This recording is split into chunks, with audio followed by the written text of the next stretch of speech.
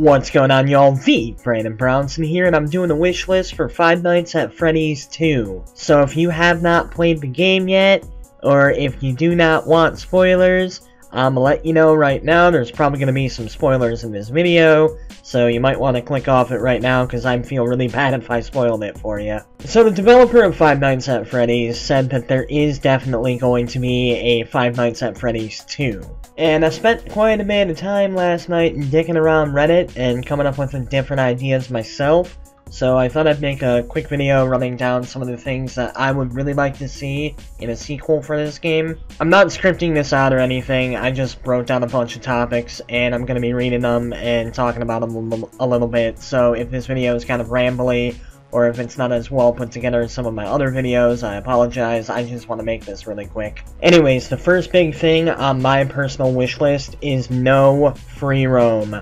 I know a lot of people have been suggesting that free roam be put into the sequel, and I disagree with that strongly. I feel like a huge part of what made Five Nights at Freddy's so scary is the fact that you are stuck where you are. You can't walk around, you can't run away, you have very limited control over what happens, and that really adds the atmosphere and the paranoia of the game. If you were able to actually, like, walk around and run away and all of that stuff, I feel like it would still be scary on some level, but you would lose a huge chunk of what makes this game so special. In Five Nights at Freddy's, most of what you see is pre-rendered stills, and I would really like to see the game be properly modeled and have a live feed camera with movement movement from the animatronics. While I understand why the developer went with the pre-rendered stills for the first venture out with how popular this game has become, I feel like that would add quite a bit to the game. I mean, we all remember how terrifying it was when we saw Foxy sprinting toward us. Imagine that with some of the other animatronics or some of the new animatronics. Now, don't get me wrong, I love the idea of you blink and it moves. I think that that's really creepy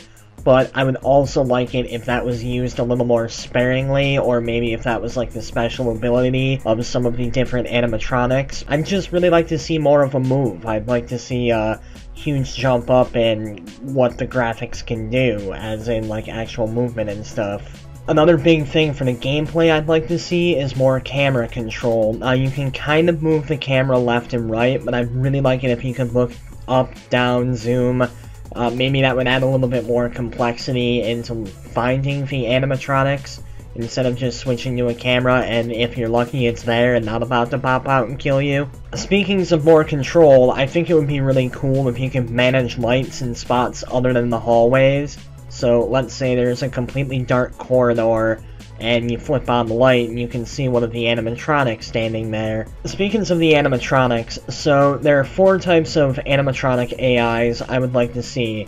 Passive, Aggressive, Wanderer, and Attention Seeker. The passive ones would be kind of like Chica was in the first game, where the animatronic isn't really going after you at first, but as you progress through the game, it becomes a little bit more active and aggressive. The aggressive ones I see being a mix between Bonnie and Foxy. Bonnie was always the one who bothered you the most, while Foxy obviously had the sprinting toward you, which is probably the most aggressive thing you'll see in the game and also one of the scariest. Wanderers aren't really limited to one side of the area or the other, they just go wherever they please and they get curious so they'll explore areas that they haven't really checked out. So as the week progresses, eventually they're going to start wandering closer and closer to you until it becomes a threat. And for the attention seekers, I see those being the most like Foxy, where if you don't pay enough attention to them, that sets them straight into aggro mode. So something I think would be really cool for the gameplay, maybe not for like the core game itself, but as something you unlock after you beat the game, I think it'd be really cool if you could upgrade some of the things you have. Upgrade your hallway lights to where it uses up less power, upgrade the doors to where they use less power, maybe include some traps, but make it to where the traps use up a lot of power, so you have to use them really sparingly. Possibly have some upgrades to how much power you have itself, like upgrade your generator, just different stuff like that to add a deeper level to the game while not changing the core gameplay up too much. So one final thing before I go into the story and setting, and this isn't anything big, this is just a cutscene I think would be really cool. I'd really like to see a scene where like a group of robbers break in and the animatronics get a hold of them and drag them into a dark room and they get shoved into a suit. Now I understand that shoving them in the suits would probably be quite a bit to animate, so I'm just thinking that they drag them into like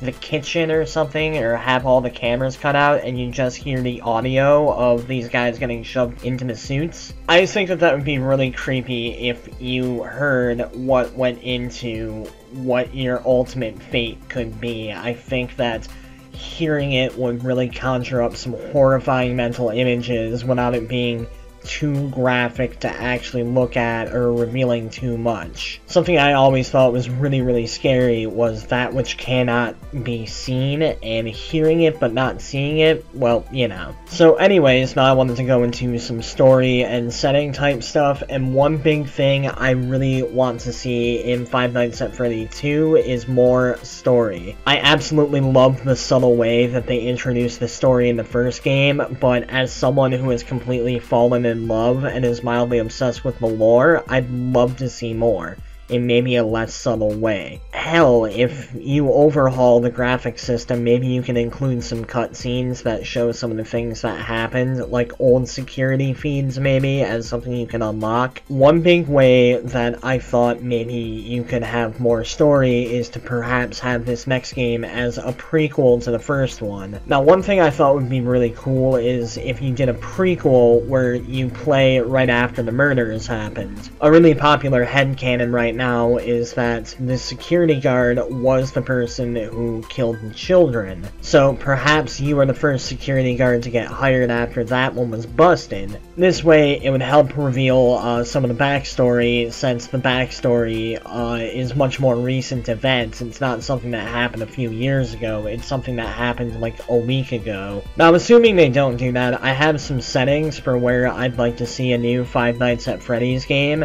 and the first one is like a bigger version of Freddy's. Freddy Fazbear's Pizzeria was basically Chuck E. Cheese with only the animatronic section, so I'd like to see like maybe a more realistic version of Chuck E. Cheese. Something with an arcade section, play structures, maybe even a generator room that you have to like really keep watch on so they don't affect the power, so they don't beat out a generator and drain your power. Now, all of the other setting ideas are not pizzeria type places, so I was thinking about how the other animatronics would get corrupted, and assuming the head canon that the animatronics are possessed by the children who were killed at Freddy Fazbear's, well, I guess it's not really a headcanon since the developers said that that's pretty much what happened, but I digress. I got to thinking that the animatronics uh, would be sold to wherever the new place is, or taken to wherever the new place is, and the spirits that haunt in Freddy Fazbear's Pizza would follow the animatronics into their new home. You know, perhaps there were more kids that were killed at Freddy Fazbear's than just the ones we know about.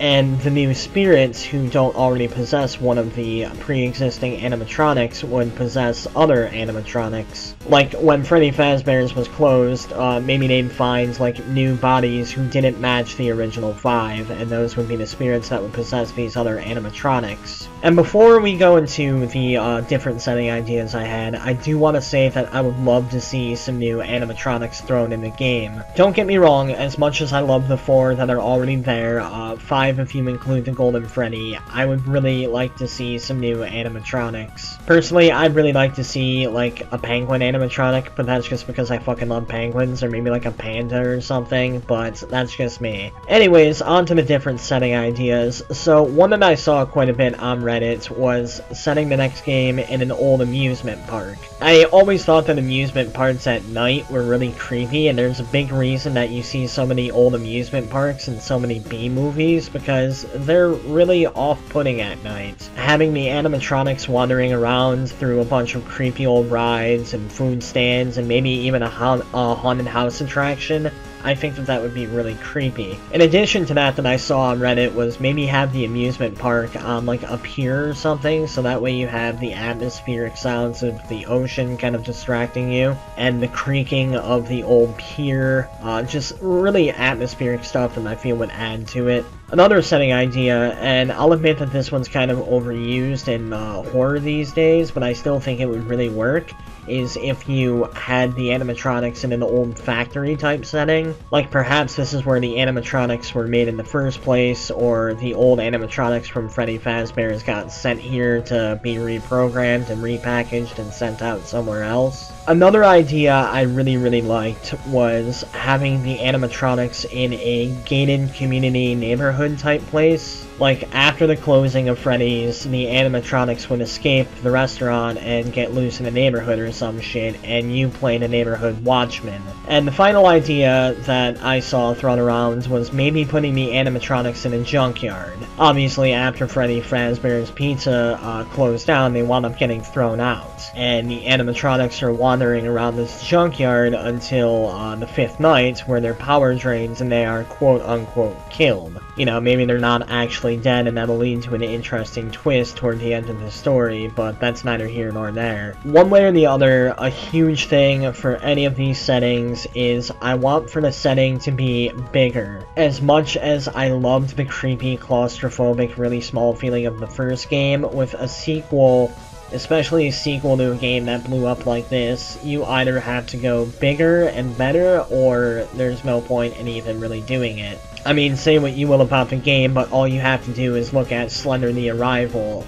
It took what made the original game so great and made it bigger and better, with bigger locations, new enemies, blah blah blah blah blah. It still kept the vibe of the original and still kept most of the gameplay elements of the original, but it added to it. It made everything bigger and better and scarier and so on and so forth. Anyways, those were just a couple ideas I saw thrown around and a few ideas that I had. So down there in the comments, let me know what would you like to see in a Five Nights at Freddy's sequel. Do you agree with any of the points I made? Do you disagree with any of the points I made? Let's have a discussion down there in the comments. That said, if you aren't going to comment, please don't be a dick about it. If you like what you see, go down there to the crotch bar and check out some of the other channels down there. Remember, if you want to buy a t-shirt, download all of my albums, which are 100% for free. Follow me on all the social media sites today. Most importantly, remember to like, comment, subscribe. The Brandon Brownson, signing out.